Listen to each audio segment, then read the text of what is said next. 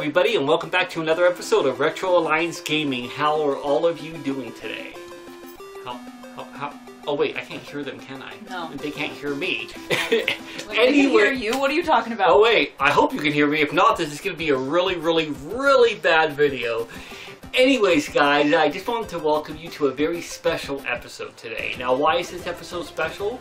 Well, I'm going to be reviewing an indie Dreamcast game called Leona's Tricky Adventures. Now, anytime I'm reviewing any indie game that has come out for the Dreamcast since its demise back in 2001, at least in America, it's always something that's incredibly exciting. But there's something just a bit more exciting about it today. Now, our channel is rather small. We have somewhere near 600 subs, and I love every single one of you, and I'm grateful for your support, but there isn't exactly companies out there that are, you know, dialing us up. I don't think people dial this way, by the way, do they? They don't dial this way. uh, they're not calling us, they're not dialing us up, you know what I mean? They're not emailing us. I'm just making up new things now. They're not exactly trying to uh, bang down our door to offer us copies of games or demos or stuff to review because the point normally for them is to get it out to a broader audience for people to know about, which is even more surprising for the video I have for you today. There is a company and a website called the BitStation. I'll talk more about them later. I'm going to post them down below. But basically, what they do is they sell indie Dreamcast games. They also sell some for other systems. So any games out there that are being made, like a Sturmwind or Redux, or any upcoming games that we have, like uh, the Intrepid Izzy, um, this is a great company. You can get all of your games here, and I highly suggest you guys check them out, by the way. I'll make sure to post a link down below. Um, they, you can also follow them on Facebook, um, all over the place. Anyways, don't get too distracted, but I've been buying games from these guys for quite a while, and basically I ended up reaching out to them, and I said, Hey guys, so I just recently bought a game. I can't even remember which one it is. I want to look over here and see. It was Fast Striker. Yeah, I have Fast Striker right here. So like, uh, hey guys, I recently uh, bought uh, Fast Striker from you, and um, I'm looking really forward to playing it. But I was very curious to try a game that you have, and it was Leona's Tricky Adventures.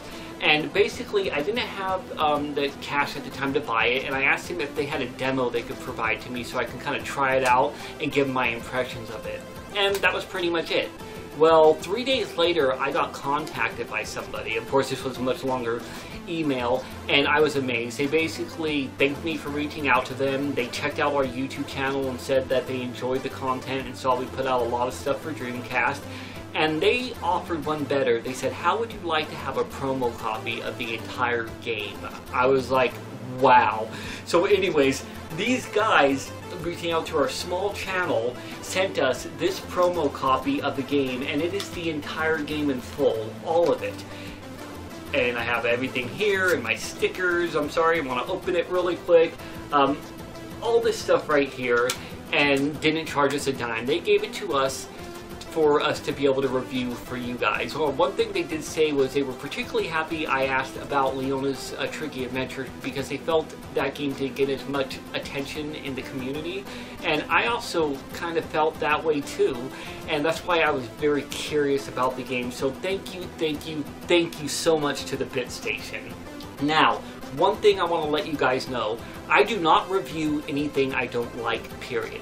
If somebody asks me to review something and I'm not, meaning, well, more if I'm not interested, I'm not going to do it. Also, just because somebody provides me something um, and it's free does not mean I'm going to give it some kind of a glowing review. What I will do is when I get a game, I will sit down, play through it, and give you the most honest review of the game that I can, and that's what I want to do today. So me and my lovely fiance Etno have sat down and played this game and I swear to God one hour ended up turning into two and turning into more so let's go ahead and get started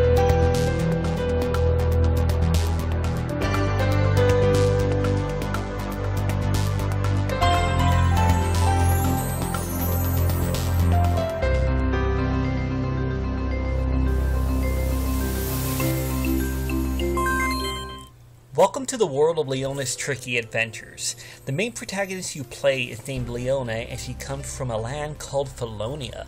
Without understanding how, she is suddenly transported to this foreign land where she is greeted by a curious owl who informs you that you have been called upon by the world of Pasopia because they need your help.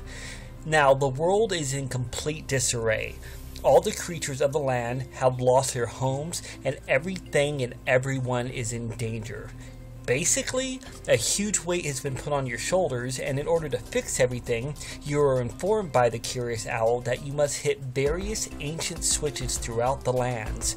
In order to do this, you simply walk up to a panel, click on it, and you immediately go into the meat and bones of the game, the puzzles you will see a variation of different kinds of puzzles that must be completed. By doing this, you're able to help out all the creatures of the land by rebuilding their forests and their homes and bringing their world back to what it once was. In the beginning, this game may actually deter a few people as it comes across very simplistic, but believe me, it absolutely positively is not. Now, before we go into the gameplay, one thing that stood out for me from the very start of the game is its beautiful score.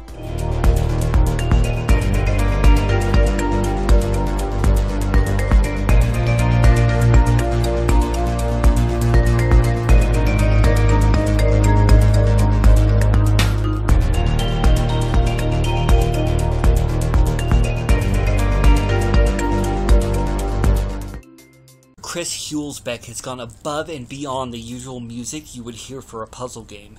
The music is both endearing and entrancing and actually reminded us of RPGs from the past.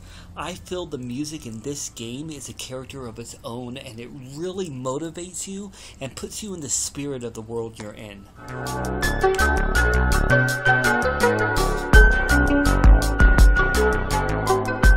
Another thing you immediately notice is the outside of the puzzles. What kind of world is it? Well, this game is very reminiscent of 8 bit map RPGs. You're going to see beautiful drawn pixel art and be able to traverse the land from one place to another, exploring these maps, while also talking with many different characters and creatures as well as getting hits and hearing the story unfold. For me, this actually added a lot of depth to the game and it made it feel like much more than just your average puzzle solving game.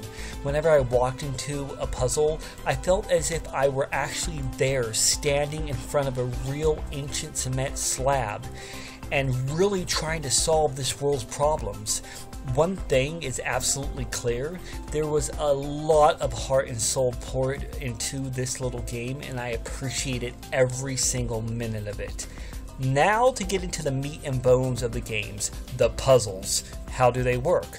Well, Leona's Tricky Adventure is inspired by a clever and brain racking puzzle game mechanic, which was briefly explored in the 90s, but it sadly faded away pretty quickly. For some reason, it just didn't seem to gain any kind of popularity or catch on as well as games like uh, Tetris or Columns. The basic task of this game is to match two complex patterns using a four-sided dial. Using this area, you're able to manipulate the different gems and colors to try to get them to match the pattern on the other side.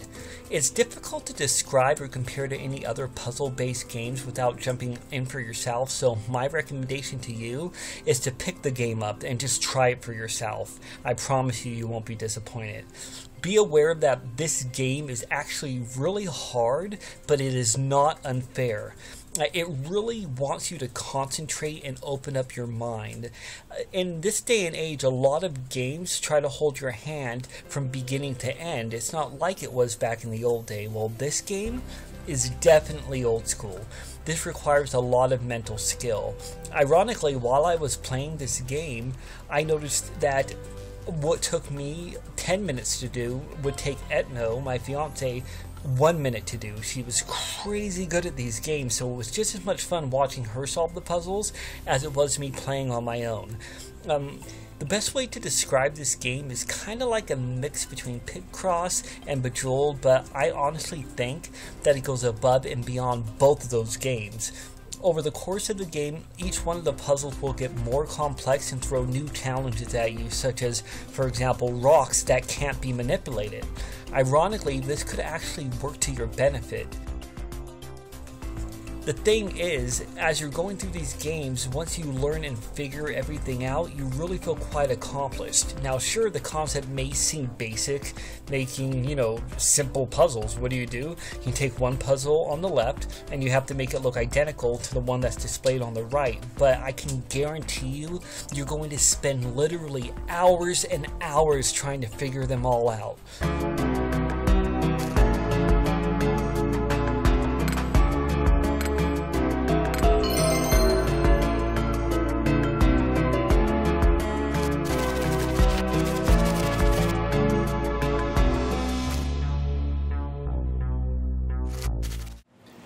On a final note, guys, uh, what I would like to say is I think we are really lucky to live in a time where we're able to get retro-styled games on physical discs for all the systems that we love.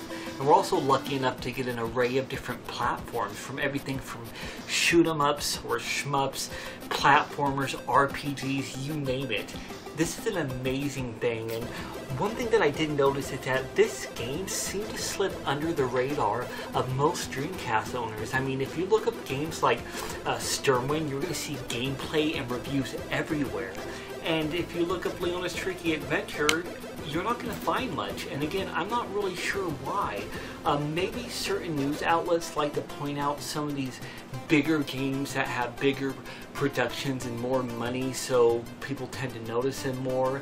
I'm not really sure what it is, but one thing that I do know is that these people pour their hearts and souls into these games. Some people are so quick to jump and complain and say, this is what I don't like, or this, this is wrong, or this is wrong. Well, if you actually look at how hard it is to put a game together like this, the creative genius that goes behind it, the money that they have to raise, uh, finding people to actually make the game and make it run smoothly, it is actually an incredible feat. Realize these are not AAA developers, these people out there. Normally, it's a small group of three or five people who have a passion for gaming and they have a passion for these systems and they want to make a game and they want the world to be able to play it. And the one thing that I can say is Leona's Tricky Adventures deserves a lot more than what it's received. Again, look it up, you're not going to find a whole lot on it.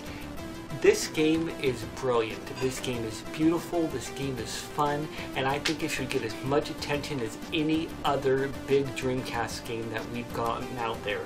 If you guys want to continue supporting these indie developers and if you want to continue supporting all of these companies bringing these games to our systems, please do yourself a favor and go down below, click on the link, and at least uh, check out a review of this game. If you, other than the one you just saw with me, um, maybe support it and give it a try. And you never know, you might just end up loving it. Other than that, guys, I just want to thank you so much again for. Uh, watching our channel. I hope you enjoyed the review. I want to give one more big thank you to the BitStation for providing this beautiful game to me. And I want to thank all the creators of Leona's Tricky Adventure. No matter how many people out there may or may not have played the game, me and my fiance Etno have, and we give it the thumbs up. You guys are amazing, and it's beautiful. and there's her thumb too. So thank you so very much, guys, and as always, my friends,